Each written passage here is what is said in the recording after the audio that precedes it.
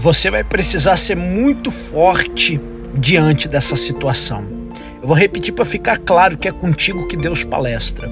Você vai precisar ser muito forte agora no mês de setembro, viu? Quando tudo isso acontecer, escuta o que Deus tem para te falar. Aquele que despreza a benção, a benção é aparta dele. A Bíblia diz: não despreze essa profecia. Fica aqui comigo que eu tenho uma revelação de Deus para o teu coração. Esse vídeo não é por um acaso no tua já com muita fé no coração. Hoje é dia 3 de setembro, domingo, e Deus está te avisando com antecedência. Antes de qualquer coisa, coloca teu nome nos comentários que eu quero te adotar, eu quero ser o teu parceiro em oração, vou te fortalecer. Coloca teu nome aqui que eu quero orar por você e na reciprocidade me ajude dando um coração para fortalecer o engajamento e me impulsionar. Não se esqueça de no maisinho me seguir para ouvir revelações de Deus todos os dias. Tem uma pessoa que entrou nessa revelação e Deus está dizendo você precisa ser forte, tá? Você vai precisar ser muito forte. Na verdade, você já tem sido forte. Me revela, Deus, que o teu mês de agosto foi um mês que exigiu de você uma resiliência, uma força muito grande. Só que escuta, porque setembro não vai ser diferente. Deus está me dizendo que Ele tem um tempo de dupla honra muito grande para a tua vida, tá?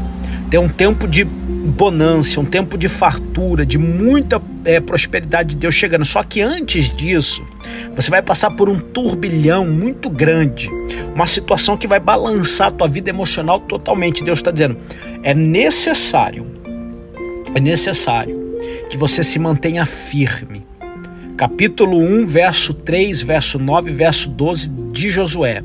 É o que o Senhor diz para você agora: seja forte e corajosa.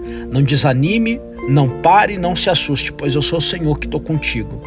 Eu vejo chegando até você uma situação sim que vai abalar o teu emocional e talvez você fale mais ainda.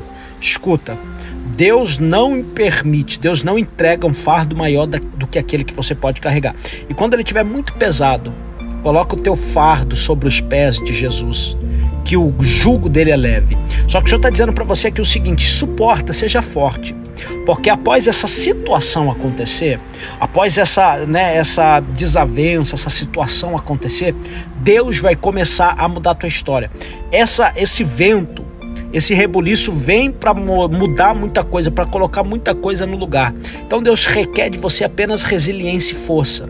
Porque após essa situação, a tua vida vai começar a alavancar tua vida vai começar a mudar, tua vida vai começar a andar e o nome do Senhor vai ser glorificado, vai ser muito glorificado, vai ser lindo o que Deus vai fazer.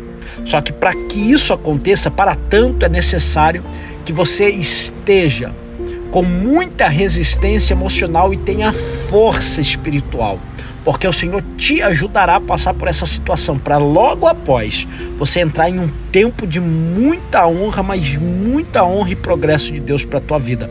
Toma posse em nome de Jesus Cristo.